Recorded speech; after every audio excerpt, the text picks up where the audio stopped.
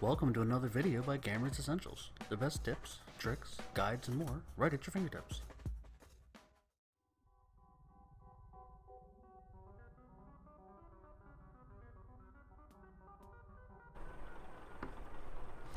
Hello YouTube!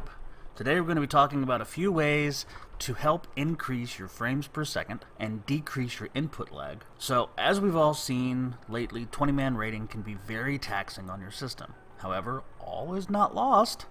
I spent some time looking into some tips and tricks for improving performance in raids. As we all know, WoW is a very CPU intensive game. Upgrading RAM and your GPU will only yield negligible improvements for you if you're trying to run it on a terrible CPU. Overclocking may seem like an awesome idea, but the decreased lifespan of your components and potential heat and cooling issues aren't worth it for those extra, maybe two or three frames per second. So first things first, you need to know your connection. Simply put, your connection, if it's shit, you need to get your provider to fix it. If your internet connection is constantly disconnecting you, eh, you're not going to be in the raid to be helpful to begin with. So why even try? So make sure that you're not having issues with your internet connection. If you're getting constantly DC, there are a few things that you can look at. If you hit escape while you're in game and you go to your system settings, there are default settings set up in network, the optimized network for speed. Now enabling this option to optimize network usage for speed in order to decrease lag. Only issue with that is it seems to increase lag and it decreases your frames per second and it can also cause numerous disconnection issues. So make sure that this is unchecked. Now for your voice, the in-game voice, Blizzard, they, they really tried. They tried. I, I, I'll give them this, but the service sucks. So don't ever have it enabled your sound settings, if you can turn off your music and your ambient sounds and have just the sound effects, you could probably turn off dialogue settings too if you needed. Um, also, you want to make sure that you have your sound channels at 64 so you won't miss out on any of the sounds. Language, you know, text and audio, however you need that. Your advanced settings. Now, if you're having issues, changing between DirectX 9 and DirectX 11, 11 can help. Also make sure that you have the max foreground FPS and the max background FPS unchecked.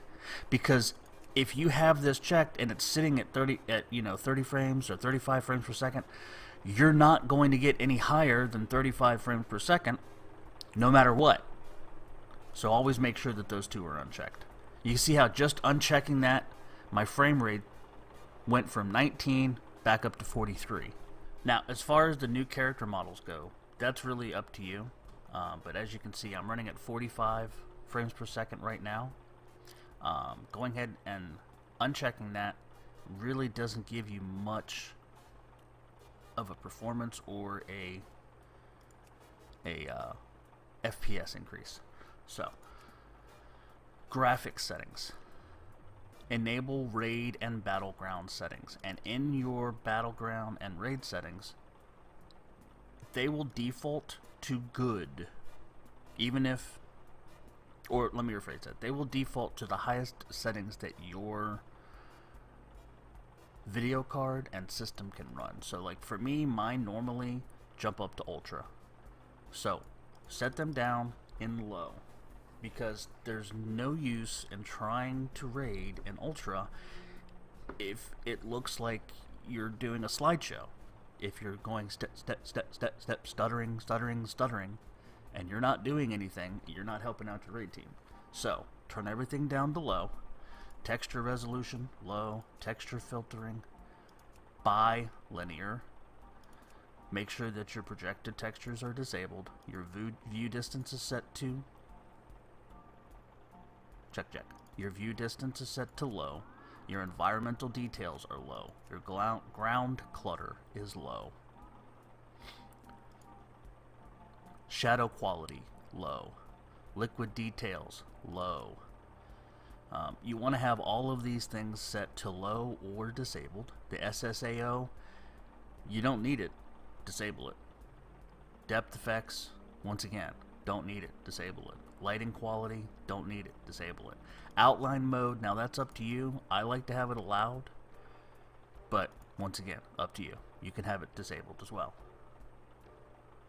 Anti-aliasing, you want to have it at none.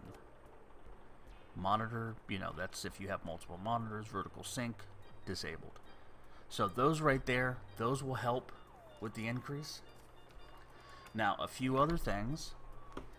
Um, if you if you're into add-ons and things of that nature, you need to make sure that you're using the add-ons that are not overly memory intensive. You know, that they're not causing you huge issues with your memory usage. Like you can see here, Tidy Plates using 3 megs Overachiever using 1.7 megs, TomTom using 1.6 megs. So I mean things like that, those are not things that you're wanting to have enabled during your raid. You want to make sure that you're having whatever you absolutely need for the raid, have it enabled. If you don't need it for the raid, disable it. You know, you have a little in-game menu right there. You have your add-ons, and you can run right through and uncheck whatever you need during raid times, and then hit OK and it'll do a reload for you if you need it. So one thing you want to look into is removing your in-game combat log. So you're going to go to your combat log, you're going to right click it, you're going to go to settings. You want to make sure that everything is unchecked and all of the other channels, the global channels, the chat channels, all of that needs to be unchecked. You're going to be looking at your combat log itself. And what you need to do is you need to basically remove it so that you're not you're you cannot see the combat log unless you're actively sitting and watching the combat log all the time. You're not going to be able to see any of this information. And if you're using something like Skada, that reviews the combat log unfiltered. All we're doing here is we're adding the filtering in by not seeing anything. So we're removing my actions and what happens to me. We're removing everything. We don't want to see it. We want to make sure that everything is unchecked on both the my actions and what happened to me. Make sure everything is unchecked. And then you're going to hit OK. And nothing should appear in this window. But once again, like I said, if you're using something for your DPS, don't use recount. Recount is so memory intensive, it's not even funny. Use something like details or Skada and I'll put the links to that down in the video below. A lot of people use DBM, Deadly Boss Mobs.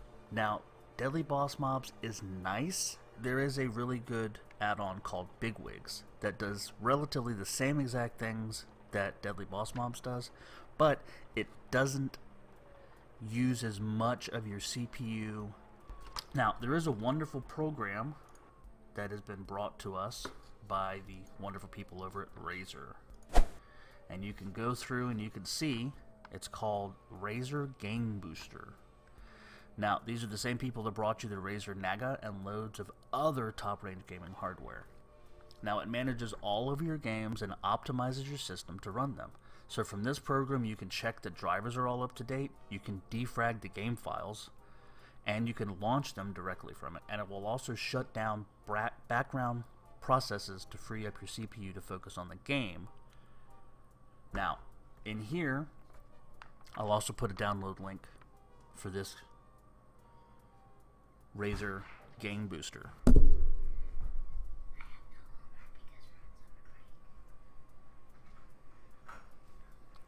I'll put a link to the Razer Game Booster below as well. So as you can see here, we have our boost. And you can go through and you can actually shut down things that you don't want to be running while you have while running. You can have a diagnos diagnostic section, and you have your tweak section, and you have defrag. And you also have your FPS. Now you can view it on screen if you'd like, if you're running in full Windows mode. If you're running in windowed mode, like I'd run it, you're not going to be able to actually see the FPS because it won't display, it won't display the overlay. You also want to make sure that you update your sound and your video card drivers. Now Game can do this for you. And also your Windows updates. If you're running Windows 7, 8, 10, whatever you happen to be running, or if you're running Mac, make sure that your computer is up to date on all of your operating systems updates. And you also need to make sure you clean your computer. Now, this may sound odd. Regular computer case cleaning helps to prevent hot computers, which tends to slow your computer. So make sure that there's no dust on your cards. Never use a vacuum or, a or uh, anything like that. You use a can of compressed air. With heating issues, never take the side panel off of your case. It doesn't cool down the PC. In fact, it screws up the airflow, often leading to warmer components. This may sound stupid, but like I said earlier, lower your graphics. Stop trying to RAID and Ultra if your computer can't handle it. Close down Skype and other non-essential programs. If your RAID team needs a chat program, use something like RaidCall, which is one of the lowest CPU usage voice chat programs out there. So I hope this helps. Thank you for watching, and if you liked this video, please remember to thumbs up and subscribe.